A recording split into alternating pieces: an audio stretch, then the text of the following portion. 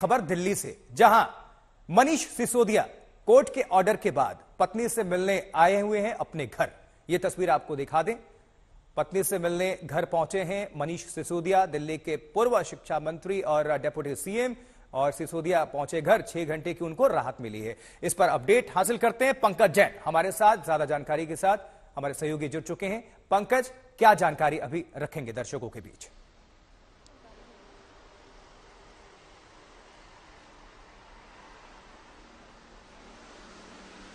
पंकज, आप सुन पा रहे हैं।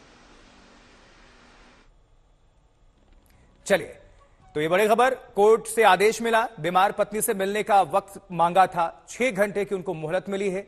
अब पत्नी और परिवार से मिल मिल रहे हैं, मनीष सिसोदिया। कोर्ट के आदेश के बाद तो सिसोदिया अपने घर पहुँच चुके हैं, छह घंटे की उनको राहत कह लीजिए।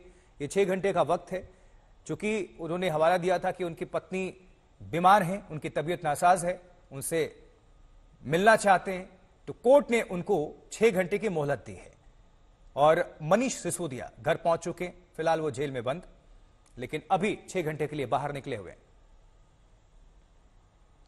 फिर से रुक करेंगे पंकज जैन का, हमारे साथ, हमारे सहयोगी जुड़ चुके हैं। पंकज, क्या अभी जानकारी है आपके पास?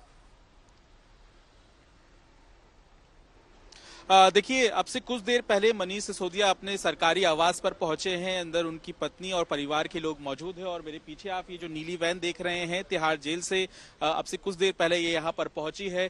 कोर्ट से इजाज़त मांगी थी मनीष सिसोदिया के वकील ने कि उन्हें उनकी पत्नी से मुलाकात करने दिया जाए। उनकी पत्नी बीमार है और इस बीमारी को लेकर मनीष सिसोदिया ने पिछले दिनों सुप्रीम कोर्ट का भी रुख किया था और ये बताया था कि उन्हें इलाज की ज़रूरत है इसलिए उनके साथ वक्त बिताने का कहीं ना कहीं अनुमति दी जाए। अब ऐसी स्थिति में यहाँ आप देखें तो पुलिस तैनात है और पुलिस यहाँ जो रास्ता है उनके घर के आने जाने की तरफ़ वहाँ पर तैनात कर दी गई है और ये जो मुख्य दरवाज़ा आप देख रहे हैं यहाँ से कुछ देर पहले मनीष सिसोदिया अपने घर के भीतर गए हैं और जो हमें जानकारी मिली है कि चार बजे तक की अनुमति मिली है और चार बजे तक मनीष सिसोदिया यहाँ पर रहेंगे। पंकज आपका बहुत बहुत शुक्रिया इस खबर पर जानकारी पहुँचाने के लिए।